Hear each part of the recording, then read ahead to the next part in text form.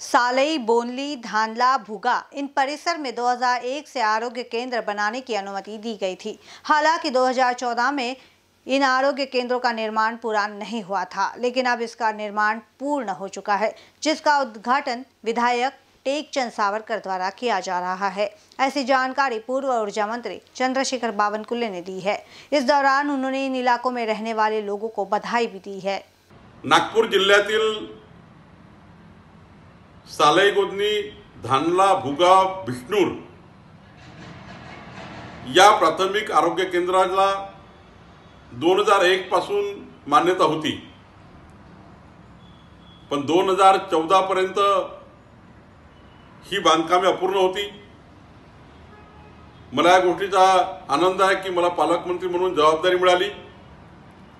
D P सीतनं मोठ्या प्रमाणावर बांधकामाकरता पैसा मला उपलब्ध करता आला. आणि आज या भागाचे आमदार टेकचंद सावरकरजी या सर्व आरोग्य केंद्राचं लोकार्पण करताय. धानला भुगाव आणि सालाई गोदनी या भागातल्या जनतेला या लोकार्पणामुळे खूप मोठा फायदा होणार आहे.